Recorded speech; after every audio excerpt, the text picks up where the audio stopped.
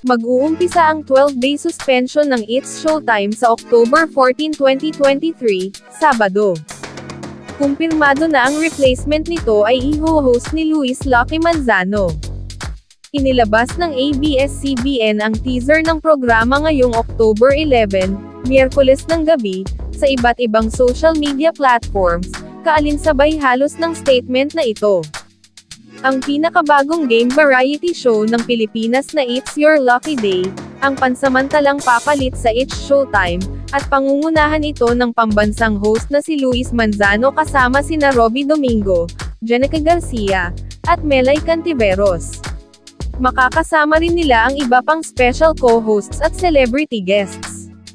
Mula sa bumubuo ng It's Showtime, ang It's Your Lucky Day ay magtatampok ng bagong game at variety segments at ipapalabas tuwing tanghali mula October 14 hanggang October 27, lunes hanggang Sabado, sa Kapamilya Channel, A to Z, at GTV. Mapapanood rin ito sa Kapamilya Online Live, I1 TFC, at TFC. Inaanyayahan namin ang mga manonood, na patuloyin ang swerte sa kanilang mga tahanan, at makisaya kasama ang buong pamilya sa It's Your Lucky Day. Tampok din sa programa sina Andrea Brillantes, Francine Diaz, Kyle Echari, Seth Pedelin, Negi, Long Mejia, Petit, at Divine Taytay. Papantay lang ba ito sa ratings ng It's Showtime, bababa o tataas? Ano kaya kung kabugin nito ang IT at IT Bulaga? Nagdesisyon ang ABS-CBN, na hindi na iapela sa Office of the President ang desisyon ng MTRCB hinggil sa It's Showtime, at sa halip ay sasailalim sa labindalawang araw na suspensyon ang programa simula October 14.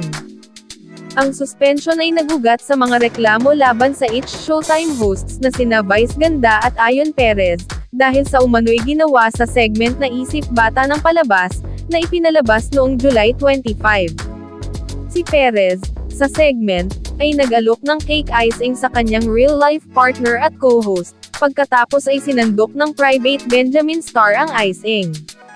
Iginiit ni Vice Ganda pati na rin ang mga producer ng palabas, na walang malazwa tungkol sa aksyon, ngunit isang napakalaking mayorya ng board, ang nagdesisyon na tanggalin ang kanilang posisyon.